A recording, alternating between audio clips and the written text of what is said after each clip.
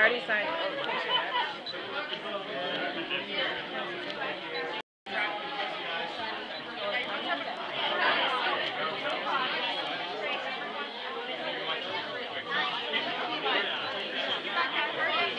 sure he gets it.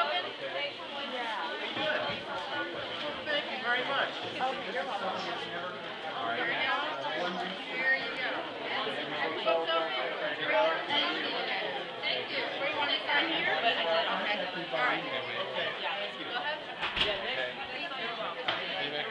step up.